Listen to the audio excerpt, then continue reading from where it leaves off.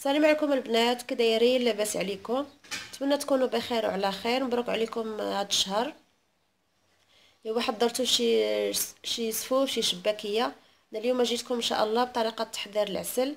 ناجح مية في المية من ايدين ماما إن شاء الله غنوريكم المقادير وطريقه التحضير بقاو معايا. فيه العسل قالب ديال السكر مهرس إطرونس ديال الماء سخون يكون طيب وجوج حامضات. ستة ديال القرنفل وثلاثة العويدات ديال القرفة. غادي نشدو السكر غنديرو في الكوكوط هو الأول.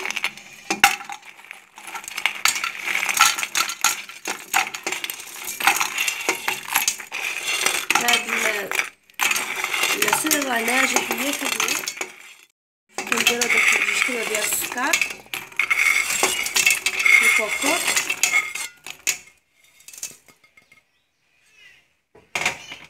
نزيدو عليه اطرو ديال اطرو نص ديال الماء يكون طيب.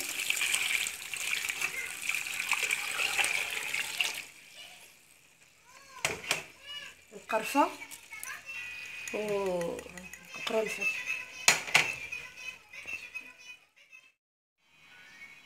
بعد ما درنا المكونات في الطنجرة دابا غادي نبقاو نحركو فيه نشعلو البوطة ونبقاو نحركو فيه حتى يذوب لينا السكر.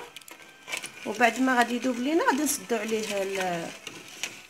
نسدو الكوكوط ونخلوه لمدة نص ساعة على حرارة متوسطة ونرجع لكم إن شاء الله بعد ما دازت نص ساعة راه كامل كنطفوا عليه كنطفوا عليه البوطة وما نحيدوش الصفار نخلوه حتى يرتاح على خاطرو عاد كنرجعوا دابا البوطة غنعصروا عليه الحامض وغادي نقطعوا هذاك الحامض نيت وغادي نلوحوه فيه ونخليوه حتى يبان غنقصوا عليه البوطة مهيلة ونخليوه تقريبا ساعة إلا ربع حتى يبان لنا داك الحامض أه ولا احمر نعرفوا العسل ديالنا راه راه طاب. حتى يتحمر. ونقصوا عليه البوطة مهيلة باش ما باش ما يتحرقش. وصافي كيكون العسل ديالنا ها هو العسل ديالنا وجد. كيجي آه عاقد وزوين. كنتمنى يعجبكم. مازال ملي كديروه فوق فوق البوطة راه كي كيطلق على هكا ملي تبغيو ديروا مثلا شباكية ولا هذا ديروا فوق البوطة باش كي يطلق على هكا.